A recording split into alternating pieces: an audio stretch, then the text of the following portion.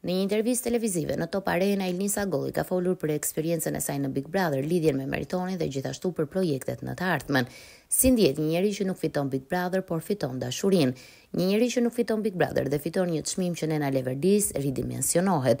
Ti e mendoje që në një format të tillë mund të ndodhte kjo? Kurrë, më ridimensionoi, vërtet, jeni duke jetuar bashkë në Tiranë apo Prishtinë, jemi duke jetuar në Tiranë tetëdhjetë për qind të rasteve tek unë, keni menduar për një dasëm apo fëmijë ishte një tjetër pyetje të cilës Ilnisa u përgjigj, ti do lajm ekskluziv nga unë tani, po mendojmë për gjëra të bukura.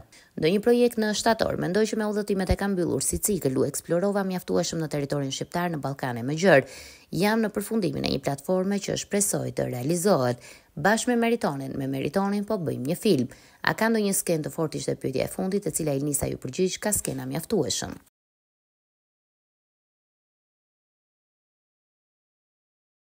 Mos harroni të bëni like dhe subscribe në kanalin tonë.